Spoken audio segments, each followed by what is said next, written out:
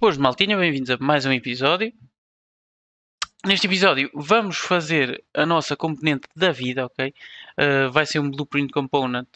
Como é a nossa. Temos uma componente da lanterna, como temos uma componente do movimento. Uh, porque é que vamos fazer em BCP component? Blueprint component. Porque é uma maneira fácil de pegar neste componente e passar também para outros personagens, como os nossos inimigos, não é? Também vão ter vida. Uh, se tiverem uma lanterna, também lhes podemos passar a componente de lanterna, ok? Portanto, um, vamos fazer como um blueprint component para facilmente podermos passar para outros personagens, ok? E se tivermos algum, alguma alteração a fazer, alteramos no blueprint component e altera para todos os personagens, ok? Portanto, estamos a ver aqui em tempo real o nosso feio de lanterna a funcionar, ok? E agora não temos luz, temos que uh, apanhar aqui a nossa pilha para termos outra vez uh, luz. Tenho que já ir mudar os valores para isto não ser tão rápido. Uh, antes de começar, quero agradecer aos Patreon. Uh, o projeto está no Patreon até aqui. Quando acabarmos este capítulo, também vai estar disponível mais este capítulo. Ok? Tem também ali a mochilinha exclusiva, um vídeo de mochilinha exclusiva. Obrigado aos Patreon e obrigado à malta do YouTube. Comenta, subscribe, uh, sininhos, essas coisas todas, obrigado. Sugestões queiram fazer, metam nos comentários, Discord, Instagram, essas coisas todas, ok? Então vamos lá começar o nosso uh, episódio. Estamos aqui na nossa pasta de componentes, eu vou criar então outro, um blueprint class e vai ser um componente, vou chamar BPC e vou chamar vida. Vou abrir e vou criar uh, três variáveis que vão ser as clássicas, que é a HP atual, que é a vida atual, não é? Os pontos de vida atuais. Vou criar outra que vai ser a HP máxima. E vou criar outro que vai ser a HP mínimo. Este máximo está aqui com um caráter maiúsculo a mais.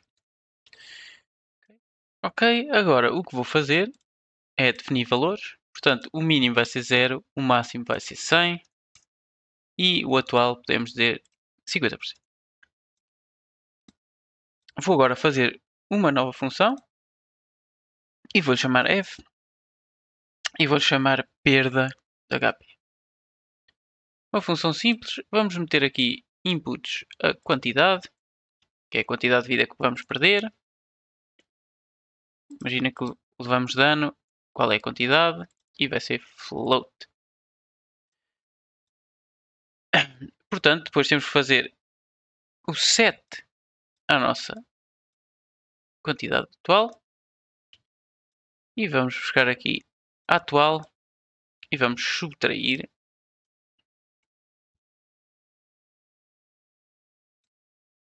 a quantidade.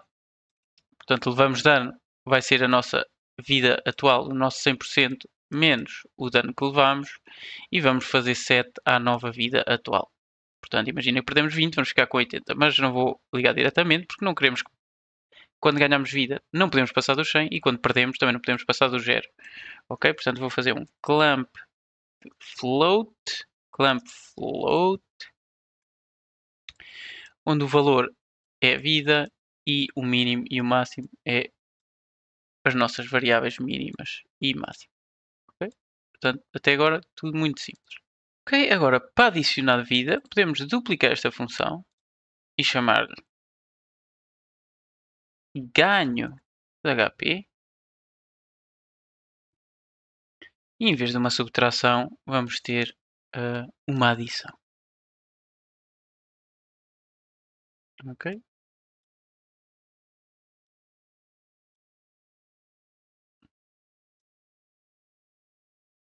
Podemos agora abrir o nosso personagem, está aqui. No nosso personagem podemos adicionar a nossa componente BPC vida. Okay, e aqui podemos definir então a nossa vida atual, o máximo e o mínimo.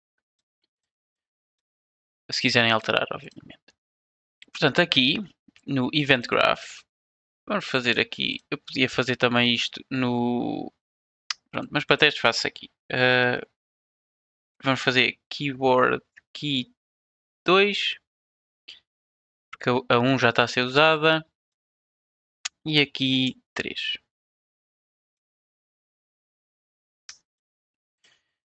Uh, e o que é que vamos fazer aqui? Vamos fazer o nosso PPC vida. Vamos buscar a nossa HP atual. Não, não, não. Vamos, vamos buscar a nossa perda HP. E a quantidade vamos definir, por exemplo, a 20. Sempre carregamos no botão, perdemos 20 de vida. E vamos buscar a nossa uh, ganho. Ok? E também ganhamos 20, por exemplo. Isto é só para testarmos. E agora o que nós também podemos fazer é vir aqui e fazer um print string que nos vai mostrar vai nos mostrar a nossa vida a todos os momentos, ok? Mas nós queremos a verde. Temos algum verde, se calhar temos a Sabina, vai ser o vermelho. A vermelho. Ok? E o print string vai ser a vida atual. Ah, não é vida, é HP atual.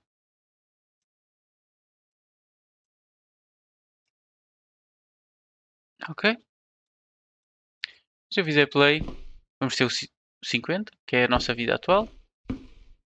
Uh, se eu carregar no 1, no 1 não faz nada, no 2 perdemos 20, não passa do 0, portanto posso carregar no 2 as vezes que eu quiser e posso então carregar no 3 para somar vida e não vai passar do 100. Portanto estou a perder e ganhar vida a carregar nas teclas. E não passa do 100 nem passa do 0. Eu agora fiz um uh, item novo, ok? Que é umas ligaduras. Okay? Posso apanhar e então aqui as ligaduras, posso usar, analisar e largar. Um, e isto vai nos dar vida.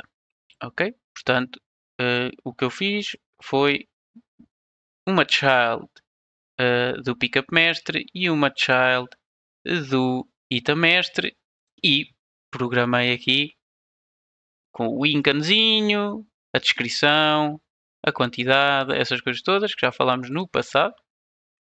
Ok? Uh, e agora então, no meu uh, pickup, posso ir ao Event Graph e posso chamar o event, uh, usar item, se calhar não é, se calhar é no BP, peraí. Usar item. É no BP, não é no pickup, peço desculpa. Ok? É no BP ligaduras, no meu caso foi o que lhe chamei. Como por exemplo, há aqui uh, na pilha que adiciona um ganho de bateria. Ok? E nós aqui, nas nossas ligaduras, queremos uh, adicionar então vida. Para adicionar vida temos que ir buscar a referência ao personagem. Temos que ir buscar a nossa uh, ganho de HP. Não é ganho de bateria, é ganho de HP. Que vem do nosso blueprint component vida. E depois tenho que definir a quantidade que estas ligaduras vão dar. Eu vou fazer promover a variável e vou-lhe chamar quantidade de HP eh, ou adição de HP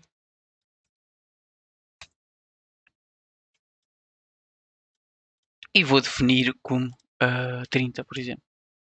Ou 50 já, já dá 50